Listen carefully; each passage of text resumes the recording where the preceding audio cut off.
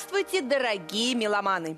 Я, профессор музыки Виолетта Модестовна, счастлива вновь приветствовать вас в нашей уютной студии Академии занимательных искусств. Вы любите оперу? Только, пожалуйста, не спешите давать ответ, положительный или отрицательный. Настоящую оперу в хорошем исполнении сегодня не так часто можно услышать. И многие судят об этом искусстве по впечатлениям от телевизионных передач. Так что предлагаю сегодняшнюю нашу передачу посвятить опере. Вы согласны? Тогда прежде зачитаю письмо нашей телезрительницы Тамары Пелецкой из Нижнего Новгорода. Мне кажется, что смотреть оперу в видеозаписи довольно скучно – Хотя, если честно, некоторые музыкальные номера мне нравятся. Например, половецкие пляски из оперы «Князь Игорь». Подскажите, пожалуйста, как научиться слушать и понимать оперу? Что ж, Тамара, с удовольствием постараюсь тебе помочь. Я убеждена, что красоту оперного искусства, так же, как и красоту симфонической музыки, балета, драматического театра, возможно постигнуть только на живых концертах и представлениях. Поэтому для того, чтобы сделать первый шаг к пониманию оперы, необходимо обязательно побывать в оперном театре и услышать оперу в хорошем исполнении. Человек, попадая в оперный театр, погружается в совершенно другой мир. Мир ярких красок, мощной, завораживающей музыки, красивых, сильных голосов и эмоционального накала. Не случайно в переводе с итальянского слово «опера» означает «труд», «дело», не только композитору, но и исполнителям и слушателям следует немало потрудиться над своей душой, разумом, эмоциями, чтобы понять оперу, почувствовать ее красоту и раскрыть смысл. Опера – это синтез, то есть соединение нескольких видов искусства в одном. Театрального представления, музыки, танца, хорового пения – а вы спросите, чем же опера принципиально отличается от театра? Конечно же, ролью музыки. В любом театре тоже звучит музыка, но она чаще всего лишь сопровождает действие на сцене, в то время как в опере музыка первостепенна. На ней строится вся драматургия оперы. Музыка – ее движущая сила, нерв, пульс – если же музыка теряет свою ключевую роль и уходит на второй план, то это уже не опера, а просто спектакль с применением музыки.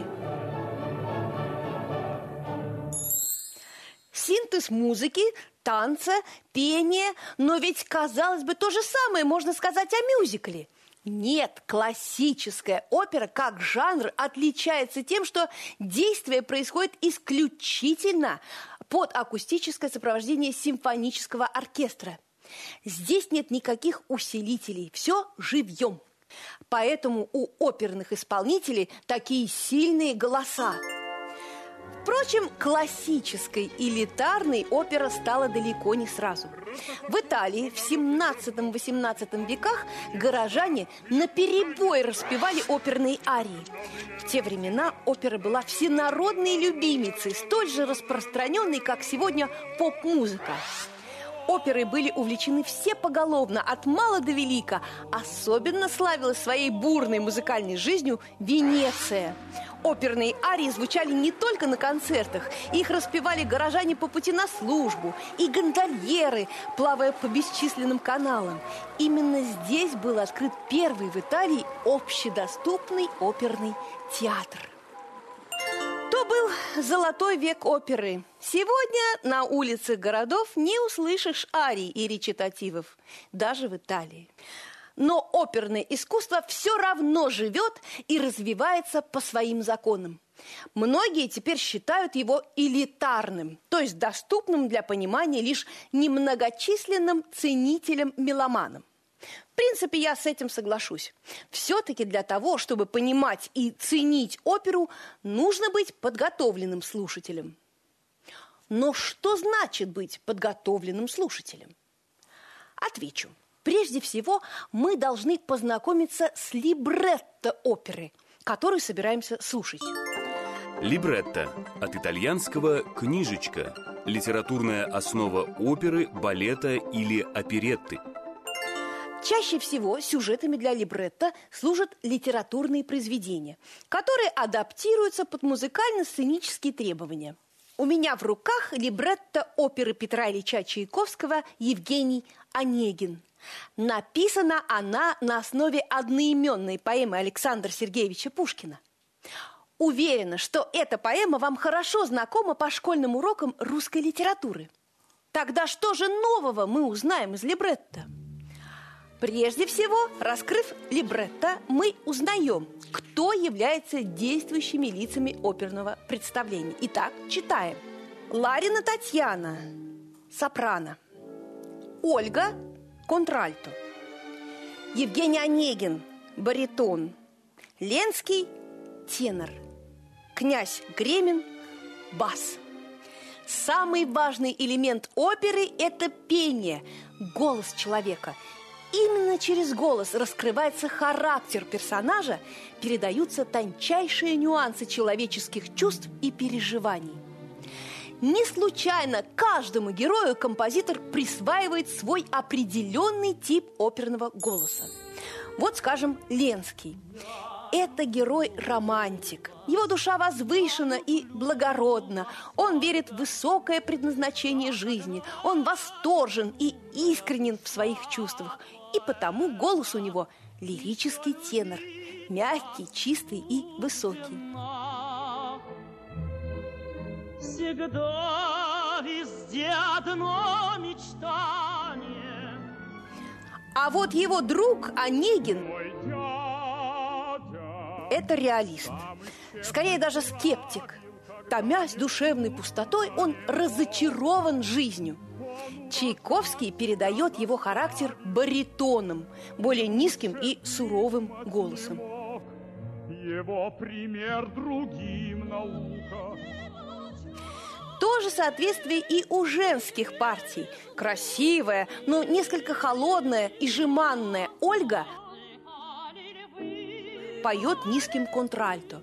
А искренне, духовно богатая, жаждущая любви Татьяна высоким и чистым сопрано.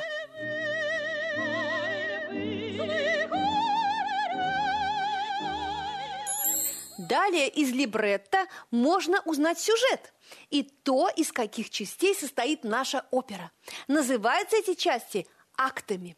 В течение акта совершается какое-нибудь законченное действие.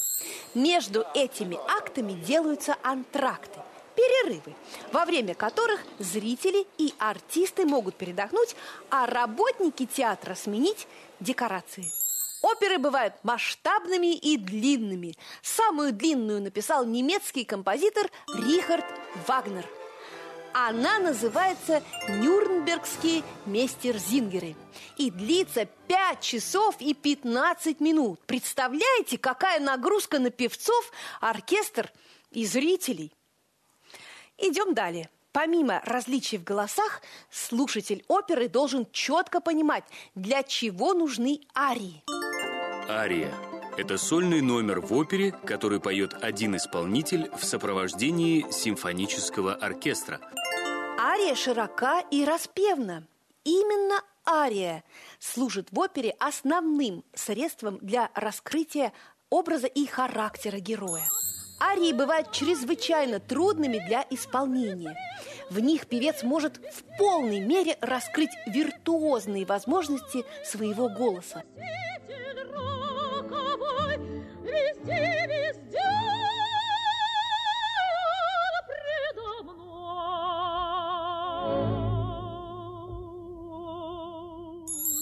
Самую длинную в истории оперы арию написал тоже Рихард Вагнер. Она звучит 14 минут 46 секунд. Представляете, каким мастерством, дыханием и выносливостью должен обладать человек, исполняющий такую арию в полный голос? Литература не может состоять из одних только стихов. Обязательно нужна проза. Также и опера не может обходиться без речитативов.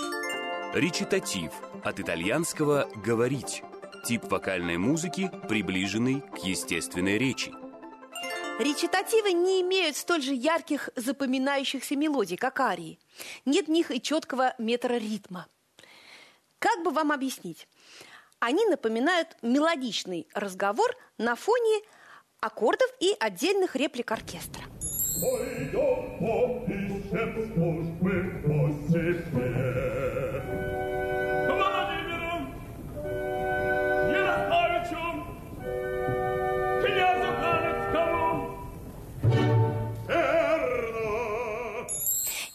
Еще в опере довольно часто встречаются дуэты, иногда трио. Ну, чтобы вам было понятно, проведу параллель с нашим повседневным общением. Каждому из нас ежедневно приходится общаться с разными людьми. С кем-то мы согласны, а с кем-то и спорим. Кого-то одобряем, а чей-то характер вступает в резкое противоречие с нашим. Что с тобой?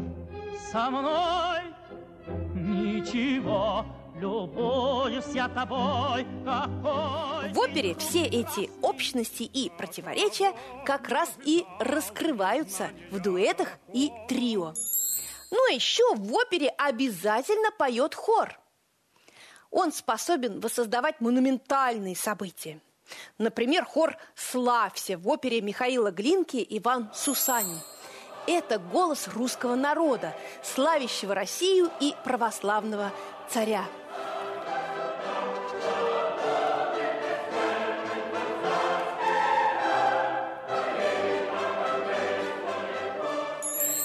Жаль, конечно, столько еще хочется рассказать про оперу, но время нашей передачи подходит к концу. Сегодня мы с вами немного прикоснулись к познанию оперного искусства. Искусства сложного, многогранного, которое заставляет напряженно трудиться и разум, и душу.